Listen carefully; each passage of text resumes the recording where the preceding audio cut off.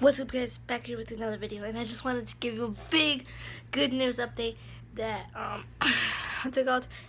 That I have my storage back and music in the back of my videos now and yeah, so I just wanted to give you that quick update and I'll see you guys later today or tomorrow. So.